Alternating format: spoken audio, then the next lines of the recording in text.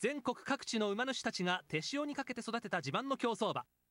最も強い一頭を決めるドリームレース。ブリーダーズカップが間もなくスタートします。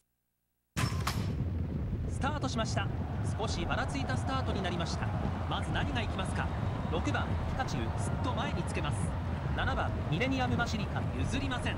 12番レックーザ。先頭に入れ替わります。14番レイ・アレクサンダー。後位につけています。各馬第1コーナーをカーブしていきます。1馬身相手16番フォーマンエーマス17番スカーレットキング。内抑えて5番ライク・アバージン。3馬身相手15番コロノポンデミ。ック4番ワールドインパクト。この辺りが中段外から8番グラスホークス。18番ハーフメッシュ。2コーナーを抜けて向こう上面。少し差が開いて13番足タイムになる。内側3番ザイオン着地1番サウンドジャック。1000m の通過タイムは1分0秒51馬身相手10番ブラックリボルバー。後ろに11番メテオフラッグ。それから9番レミセチャクチェ。少し開いて最高峰2番アドメイヤオープン。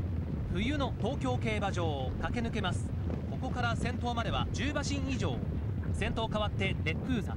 後ろに14番レイ・アレクサンダー。その後は7番ミレニアム・マシリカ。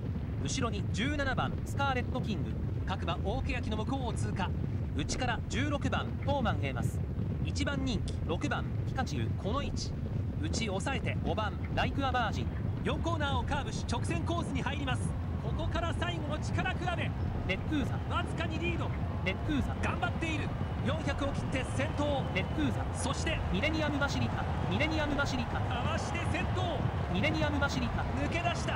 あと200ミレニアムバシリカ頑張っているレイ・アレクサンダー徐々に接近してくる。レイ・アレクサンダーミレニアムバシリカ押し切ってゴール。勝ったのはミレニアムバシリカ誕生は海老名正義騎手。ミレニアムバシリカブリーダーズカップの栄冠に輝きました。2着レイ・アレクサンダー。3着は接戦となりました。